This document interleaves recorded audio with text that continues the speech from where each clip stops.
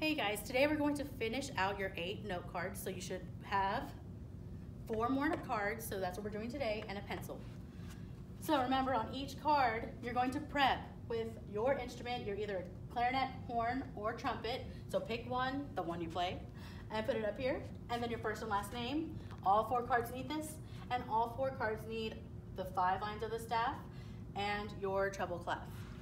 So push pause if you need to do that on all four. But we're gonna keep going. Your first note that we're drawing for spaces is going to be the first space F. You're gonna circle it with a whole note. And we're going to write F on the back of that first card. And we're gonna move on to card number two. So card two. And this is where it's a little different because we're no longer in the staff. You're going to be below the staff. Now, it's kind of like it's hanging off the staff or that first space below.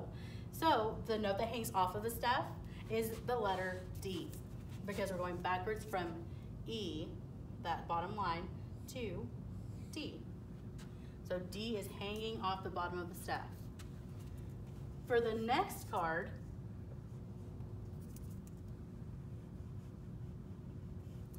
you're going to draw a ledger line. Now, you've already drawn the notes that go on the ledger lines, but we've already done that. So the D would be here. If you're going backwards in the alphabet, D, C, and the note before C is B. So the B is going to hang off of that ledger line right underneath. And on the back of your card three, you're going to write B. And then I'm going to erase this. Keep that ledger line though uh, for, your, for your last card. So we're going to card four. So you need two ledger lines for card four.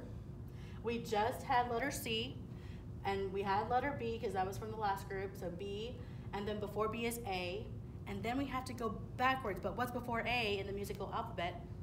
Well, it should be G because we just restart. So we're going to let a whole note hang off of that. And that bottom note is a. So now you should have eight cards total to be practicing and be ready to get tested on.